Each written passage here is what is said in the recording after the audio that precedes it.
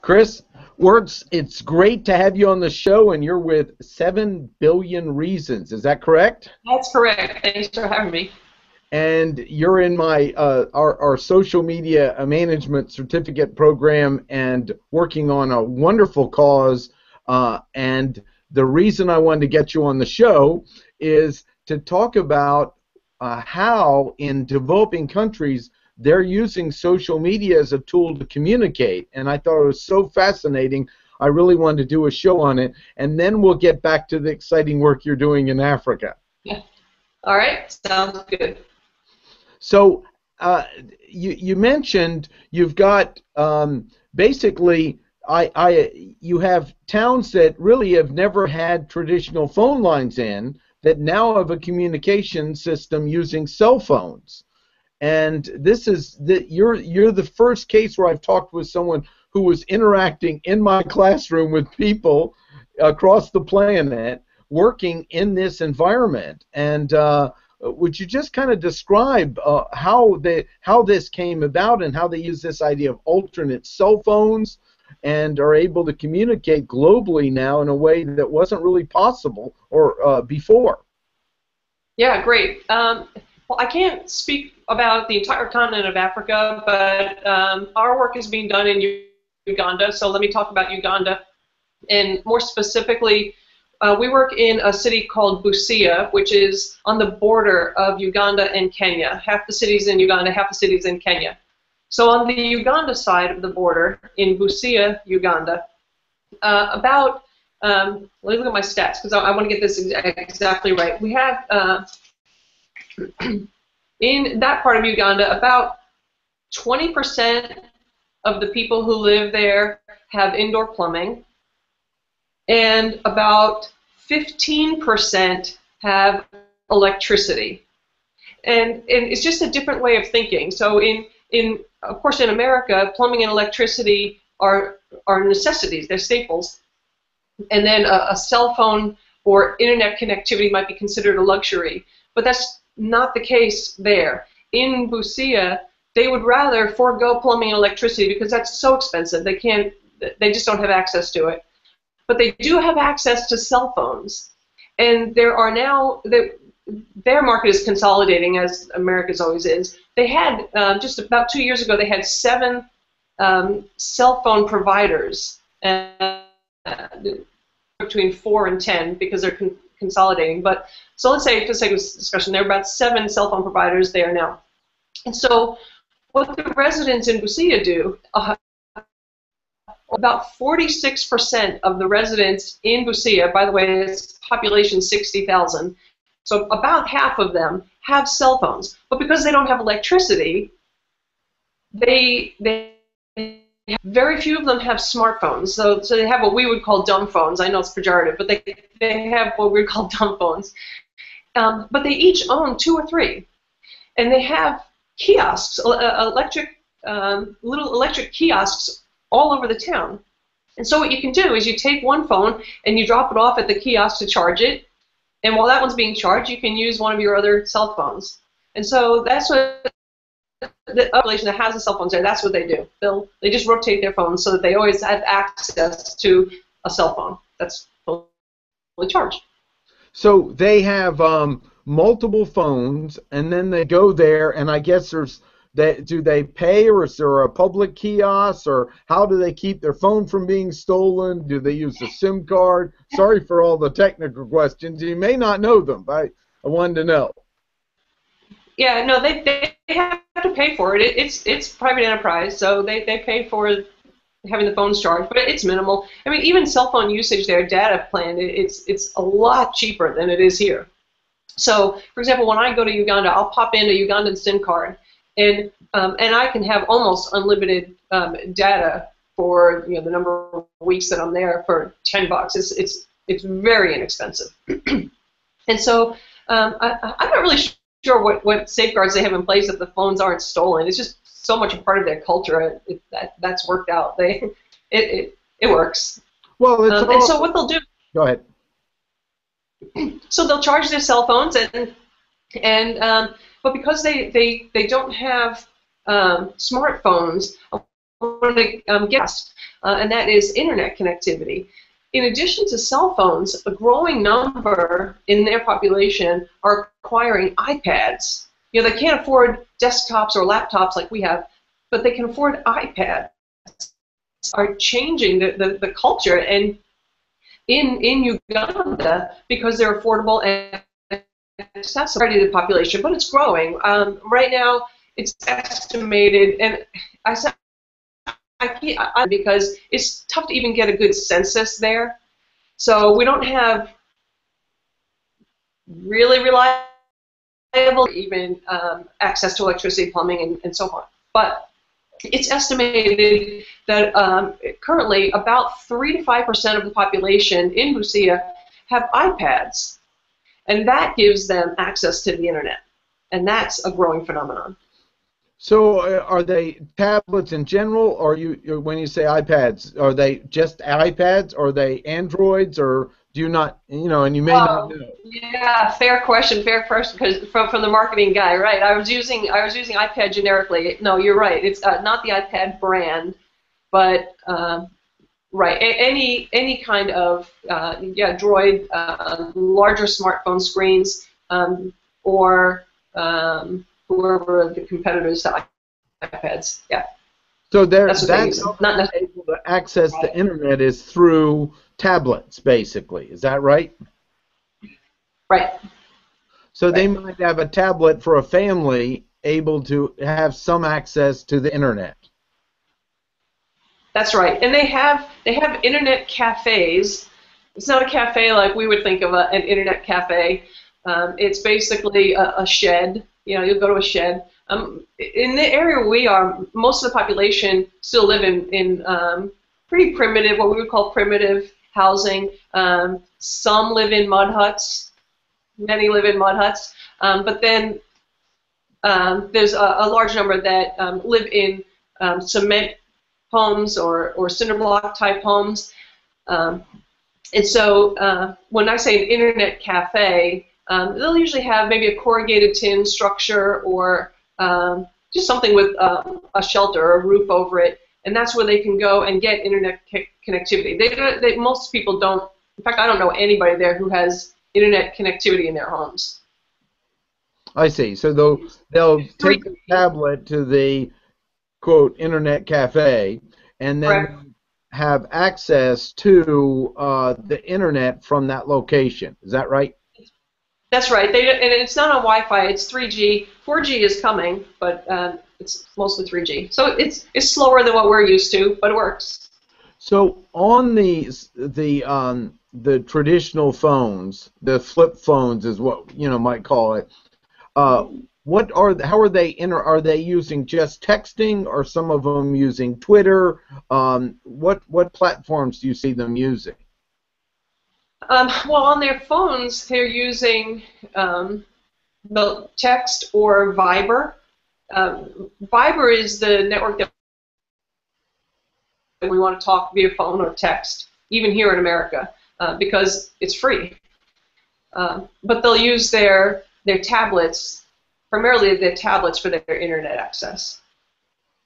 So that's where they'll use um, Facebook and Twitter um, they haven't really broken much into um, the others that are becoming more popular here, Instagram or um, Pinterest, it, but um, Facebook. Facebook connectivity there is currently 600,000 people in Uganda have wow.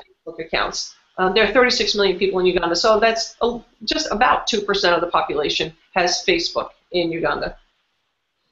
That's a big deal. And then what about uh, uh, the, what do you use Twitter at all, or or is it mainly? It seems like a lot of it would be texting, but uh, Twitter looks like that would be the next phase it would probably be involved in because it doesn't require as much data for transmission. Yeah, that's true, and and keep this in mind. Um, their their posts look very different from ours because they don't have cameras, and we're very visual so most of our posts have pictures, and we know from marketing, you know, you talk about this in your class, Martin, that um, the posts that include a picture or a video are much more effective than the ones that are just text. but they don't have the smartphones, so they don't have cameras with them everywhere they go. And so most of their posts are just text. So that's changing a bit because of the um, the tablets that they're using. And when they're equipped with a, a, a, camera on their tablet, they can shoot a picture. But uh, no, Twitter will grow because they don't have cameras. So they're much more of a text-oriented culture anyway. And then visual. in your area, language. What are the? Do they mix English with? You know, what are the native language and uh, and so because you're communicating international, so I I I'm embarrassed to say I don't know the native language of that area. Yeah, um, you don't know it because it's not really knowable. They're um, they're all supposed to learn English, so that's their official language. But the uh, the culture doesn't work that way, and and I say you don't know it because it's not knowable, and that's because there isn't a primary language in Uganda. It's supposed to be English, um, but the education system there doesn't emphasize that they learn English, and so most of them speak. If, if you would have, if you'd have to pick a what their their cultural language is, I would have to say is Lugandan. That's that's like the word Uganda with an L before it. So Luganda would be their next language. A lot of people think it's Swahili, but it's not. Swahili uh, is spoken in Kenya, not Uganda. Um, but it would be Lugandan. Uh, but most of the people that we work with do speak English, and that is what the education system there is moving toward. Um, in a city the size of Busia, where there are 60,000 people, there are approximately 40 languages. Now that, that includes dialects, but it, right. So you, I, I mean, I saw you, you, you look startled because you understand that as a business guy, 40 languages makes it very, very difficult to do any kind of commerce, whether it's e-commerce or brick and mortar. It's very difficult. Um, most of the people there speak multiple languages, not just dialects. In fact, our main contact there speaks nine languages. Now, this is not a well-educated society, and yet he speaks nine languages at a necessity. So we communicate with them in English, and um, and they'll either bring it to somebody who can translate it, or they use Google Translate. Um, but we can communicate in English. Oh, really? Uh, we got to go to the Google Translate. So is that is that actually uh, at least in a pidgin language way work? um, it, it, it, it's a tool for them. The people that we work with primarily, uh, well, entirely, um, communicate in English with us, and that's part of why we chose them as our partners. Is communication is easy, but for the people who can't speak English, Google Translate is an option for them. They can cut and paste and find out what we're saying. Now, it's not always great, but it's better than uh, some of the other translating mechanisms, like Bing. The, the Bing translator usually doesn't communicate what we want it to communicate, but Google's pretty good. Fascinating. Um, anything else you have that, that you think would be a point to let us learn a little bit more about the, the world of using technology uh, to communicate and starting to uh, move into the social media realm as well? Um, Well, I'd like to I'd like to talk about, um, especially when you get into doing work like what we're doing in Africa. There are uh, you really want to segment it into two groupings, and one would be relief, and the other is rehab. So, and they're not the same. They're not the same need, and they're not the same fix. So, when you have a crisis situation, it calls for relief, and and that means uh, that you, you, that's what the Red Cross does or Samaritan's Purse. Uh, there's an earthquake, there's a mudslide. You go in and, and you deal with the crisis. You put a tourniquet on it. You bring food and blankets and clothing and and, and medical supplies. So uh, the the technology is being used in relief uh, by getting the word out quickly. So these are these are remote areas that otherwise people wouldn't know that there was a disaster. For example, in June yeah, it was June of 2012. Two villages in eastern Uganda were swallowed up in a mudslide. But there were, and, the world wouldn't know that because this is not a region where you have news outlets. It's not like they're going to send the local TV truck with their satellite dishes and and broadcast live from eastern Uganda. But there were some people there who had um, tablets with them, and so so buried under the mud, they could get the word out that that they're buried, that their town has been consumed in a mudslide. And so that's how the American Red Cross learned about it. And we were able to, not we, not my organization, but we, the Americans, and other organizations around the world, not, not just the American heroes, but around the world, that's how we all learned about their mudslide and their plight. So we were able to, we, the world, was able to respond and, and organize. In fact, Amazon.com, uh, through Twitter, organized a relief campaign for these two villages in Uganda, and they ended up raising enough um, cash and also people buying merchandise on their site. God love e-commerce, buying merchandise through Amazon, so that the relief supplies could be brought over to eastern Uganda, and that was all because of people tweeting about it in from the from ground zero of their mudslide. That's one example. Um, another example would be um, the famous one in 2012, um, Let's Make Joseph Kony Famous. Remember that, that um, Kony 2012 campaign? Uh, Joseph Kony, if you remember, um, is the leader of the LRA, the Lord's Resistance, Ar Resistance Army, and, and his um, band of thugs abduct young children, particularly boys, and recruit them into uh, his army, which um, is responsible for several hundred thousand either abductions, deaths, we don't really know. Uh, but there was a worldwide campaign of Let's Make Kony Famous. Nobody heard of Joseph Kony before 2012, but it was because of, of social media and technology that the world, the world's Uganda and the Lord's Resistance Army. Now he has since fled we think he's somewhere in, in we, like I'm so important. Um, the world, the people who, who know these things, believe that he is somewhere in uh, maybe Sudan, um, but he's no longer wreaking havoc in Uganda. So you were saying there are two things. There's relief, and what was the other? Second is development. Thanks for that. Yep. The second is development, and uh, development is um, a long-term plan because you you, you, you can't help people in, in that situation and, and by poverty if you just keep giving them handouts. So well-intentioned uh, people, um, Americans, Australians, Germans, um, have gone into Africa to try to help and, and provide uh, clean water and food and, and clothing. Those are, but those are relief supplies. And, and eventually everybody goes home. And then Uganda looks the same as it did before. And so, so long term, the fix is development. Now, uh, and that's where we're involved. And uh, we, we do both relief and development in, in Uganda. But in development, yeah, social media is extremely important, and as is the internet. There are people in, in Uganda uh, who have developed their own um, relief organizations and development organizations um, but they can only get the word out. Their only access to the world is social media. Without social media, they would have no way of letting the world know that that they have uh, a need. So, for example, uh, one of our partners developed um, an organization called Triumph Children's Ministry.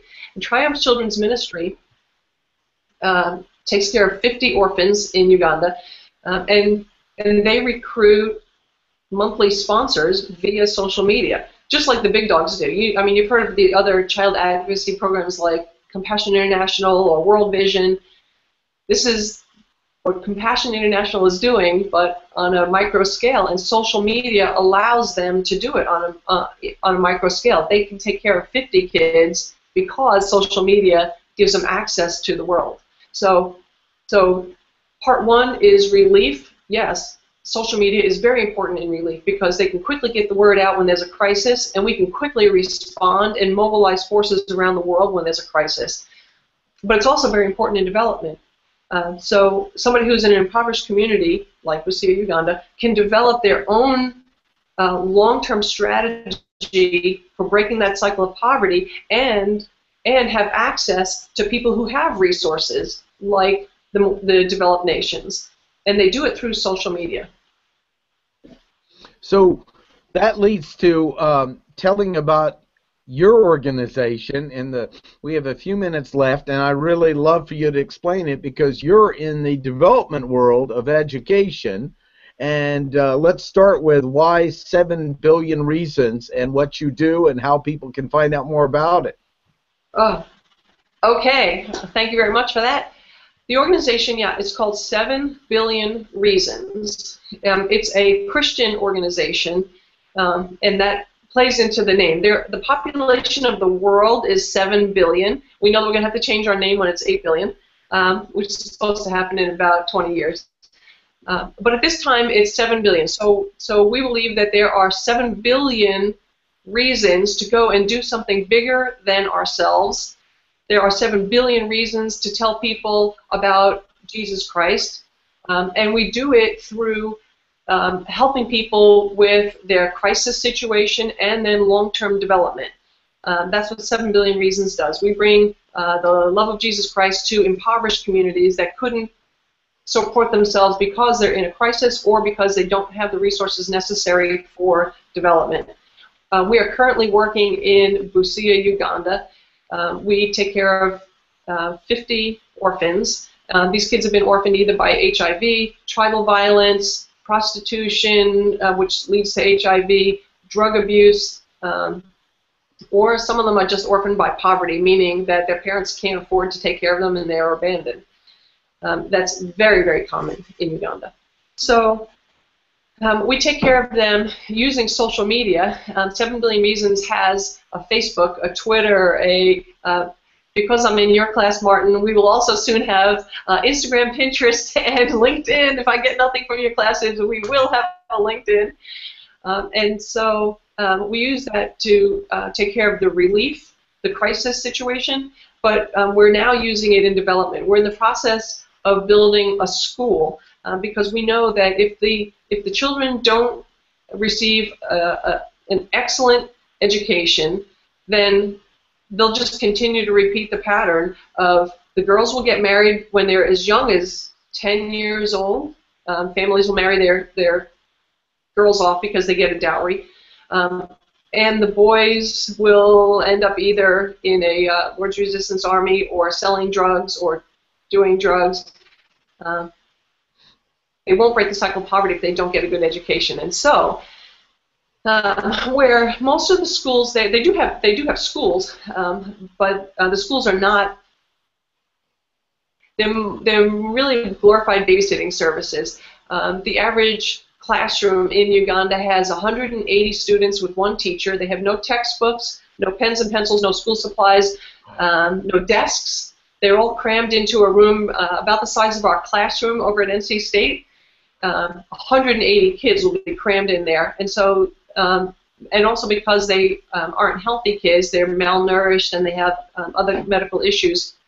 It's not an, environment to learn. It's just an environment to kill time, and and most of them don't go um, beyond what we would call seventh grade. They're on the British education system, so, so they don't get to go beyond seventh grade. We want to change that and give these kids an opportunity to actually go all the way into um, the university system and um, and we're going to do that through developing a, a high, high quality school so they can get a Christian worldview education, um, understand that through Jesus Christ it levels the playing field, that they are um, as valuable as anybody else, no matter um, what their economic circumstances are, whatever their health issues are, whoever they, they are in life, whatever mistakes they've already made, it doesn't matter. The slate is now wiped clean because of the love of Jesus Christ, and and we will provide an excellent education.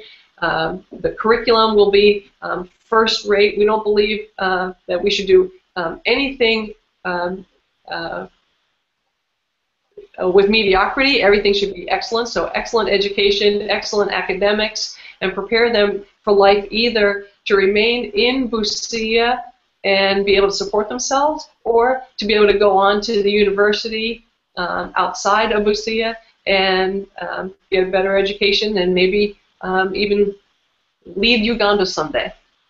So you and you actually have some houses and you have some education with a real plan to basically build an education system that addresses the real needs of them, including medical and uh, and food and others. Is that right?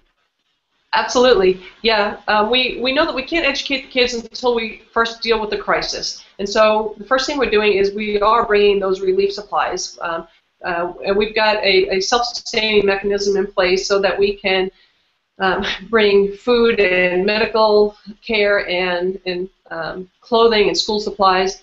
But in addition to that, yes, um, we already bought land. We own we own uh, three acres of land just on the, the municipal border of Busia. And the beauty of that is that uh, we don't have to pay city taxes, um, but we can benefit from being close to the city. We are right up against um, all of the, the chaos of the city. So kids can can remain in the homes with their caregivers, but walk to uh, the location where our school will be. And I say will be future tense because we're in the process of fundraising so that we can build the building.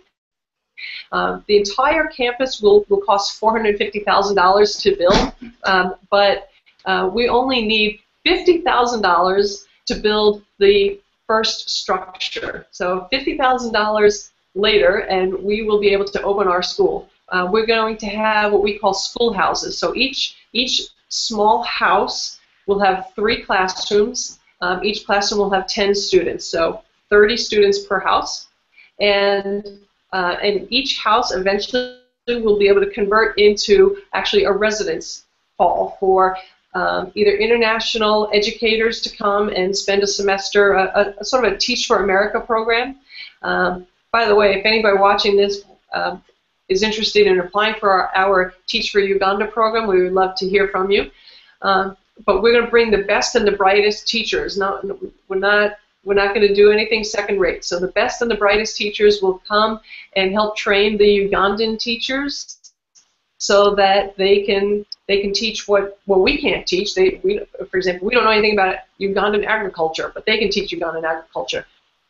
But they don't know anything about, for uh, example, maybe um, coding. We can teach them coding. We can teach them um, uh, technical things that, that they just haven't had access to before. So We'll bring our first-rate teachers there. Uh, maybe they'll live in, in one of our converted um, schoolhouses into a residence house, and, uh, and then eventually the campus will grow. Uh, we're targeting uh, enrollment of a maximum of 1,000 students, but we, will start with an enrollment of 30. Wow. So yes, we're in the process of, of fundraising so that we can build that first schoolhouse. Uh, we bought the land a few months ago. Um, we are currently farming the land uh, because we don't want to we don't want to uh, give handouts. We want people to have the dignity of work, the dignity of earning a living, and that is a game changer. So um, after we a month after we bought the land, we hired people to clear it and plant crops. What that does for us is it, it shows us pre-construction what part of the land we should uh, put the structures on and what part would be best for farming. We will we will leave about an acre available for farming so that we can use that to feed the students at the school. So we'll know what part is best for farming and what part what, what crops grow best there. Um, but by starting the farm just one month after we bought the land, we've been able to signal to the community that we're here to stay, we're here to hire you, we're here to train you, um, we're here to equip you, but we don't. We're, we're we're the same as you. We're no better than you. We're here. We are here not because we're the imperialistic know all Americans, but because we're partners in this. We're going to bring to you the resources that we have, and you're going to bring to us the resources that we have, that you have, and and together we're going to build a fantastic school that will educate the children and and lead to um, better employment and a better life. Outstanding. Um, I'm uh, just mention briefly how they can find out more about the work you're doing, and then uh, we'll wrap it up and we'll put it in the comments area. And love to get other comments and information. And uh, this was exciting to to get a look into another world with you uh, and share it on social media and YouTube. Uh, great, I appreciate that. Um, yes, uh, please uh, come to our website. It is the number seven, seven billion reasons.org. We're also on Facebook, and we are on Twitter. Fantastic. So you can go to 7billionreasons.org. Uh, there's a, a, a, link there where you can um, contact us. You can contact us via email. If you prefer, then for us to call you, you can give us your, your number. We'll get back to you. But we would love to hear from anybody who wants to be involved with us, either um, let us know if you commit to pray for us. Um, prayer is a very, very big, important um, element of what we do. For example, can I have two minutes to tell you a quick story? Mark? Yeah. Yeah. Okay. Um, I mentioned this in our class. Um, abductions, um, child sacrifice, human trafficking, the sex trafficking industry are significant problems in Busia. Last year, um, one of the children who um, I count among our 50, an eight-year-old girl, was abducted. Um, we don't know, we never will know probably what the, the ultimate intentions were of her abductors, um, but she was abducted, and it was through um, social media that um, we were notified of that. Um, our one of our partners in Uganda um, got on Facebook, sent us all inbox messages, and uh, and that's how we learned that this little girl had been abducted. So um, we then sent out a, a prayer chain literally around the world. We've got we have people involved with us all around the world. So we had people in Australia and Germany and England and uh, New Zealand, Cuba, people all around the world started praying for this little girl, eight years old. Now, um, she had been taken into an abandoned house on the border of Kenya and Uganda. Um, we don't even know how many captors she had uh, because every all the details are, are fuzzy, as you can imagine um, from a terrified eight-year-old girl. Somewhere between probably five and seven men had held her captive. Uh, during the night, uh, they had smoked enough um, we think opium, that um, they passed out. This little eight-year-old girl, and I credit the prayers of the prayer warriors around the world, this little girl knew that that was her chance to escape. And God gave her this little window of opportunity, and then He gave her the confidence, even though at that point you can only imagine how shattered she was, how terrified she was. But this eight year old girl was able to wriggle her hands free, untie her feet, get up, sneak past these guys, get out of that house, and run for help. Wow. Amazing. And then and then also you you you mentioned along with that you used your network to recapture and bring her home.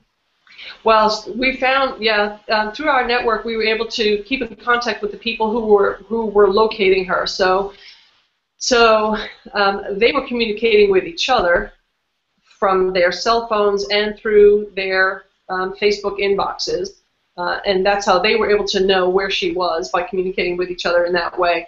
And then they were able to notify us that she has been found. Um, I would love to tell you that the end of the story is we captured all the guys. That is not the case. They have not yet been been captured, um, but we're hopeful that that someday they will be captured. Uh, but getting back to um, why I bring up that story is prayer is a very important part of what we do. Um, we believe that she was rescued um, because um, God intervened, um, and we asked that He would. He did. We don't credit us. We credit God for doing that. Um, he intervened and saved this little girl's life. By the way, our organization is now involved in in restoring her. Um, as you can imagine, she needs a lot of help um, medically, psychologically, and we have people there to help her with that. She's only one of many, many, many stories. You know this, Martin. Every time I, every week yeah. that I come to class, I tell you another story, another story that's just like this. Mm. Uh, we have a um, not one of our 50, but there's a two-year-old boy who we're connected with there who's currently missing. Um, he was abducted, we believe, um, in order to be sacrificed. There are witch doctors there who still sacrifice children. Anyway, uh, people can get involved with our organization. We need to know that you you want to pray with us and for us. So we, we really appreciate that. So if you can let us know that. Um, we also need volunteers. So you can only imagine an organization like ours, which is still new. We're only two years old, and and um, we have a, a, board comprised of uh, engineers, educators, marketing people, business people, and so on. But uh, we still need um, all kinds of other help. And so if you have specific skills that you'd like to volunteer, we'd love to hear from you. Um, if you are an educator, a teacher, then please keep us in mind. Over the next year or two, we'll be developing our curriculum and um, hiring teachers. And uh, and then finally, we need um, your money. We it, the ugly side of ministry, and people um, get squeamish talking about this, but we can't do anything unless it's financed, and so we need donations. And so if this has spoken to you at all today, oh, you who are watching this, um, please, yes, support us with prayer, with um, your time, and um, any skills that you have, and with your money. So, uh, Martin, thank you for your time. I really appreciate this. This is just a great opportunity for us. Again, using using the internet to get our story out, and hopefully um, it will affect the lives of the thousand kids who ultimately will be enrolled in our school but who knows then the domino effect of how many more lives this this will change because Warren Brossman decided to do this Google Hangout one day in North Carolina. You laugh. I'm serious. No, no, I laugh in a in a joyful way. It's it's wonderful. Yeah. This is uh, part of the great joy of having our social media program. Is people like you show up in our lives uh, with a greater mission to make a difference, and uh, and thanks for sharing this. And uh, and uh, we'll we'll have lots of contact data below. We'll get it all. I'll get all your data and post it. And uh, and look forward to hearing more success. Maybe we'll do another interview as as the school evolves, so people can keep up with you. That would be wonderful. Thanks, I appreciate it. Absolutely. No, that's great. All right. Well, we'll see you in class today. And thanks again for sharing this uh, wonderful insight and the story of your great work, and thanks for the wonderful work you're doing in the world, too. Great. Thank you so much. And yes, I'll see you in class. Homework won't be done, but I did this Google Hangout. that's right. That's right. I know. You'll catch up. You got you got a few things on your plate. So uh, great, uh, great to have you today. All right. Take care. Bye. Bye.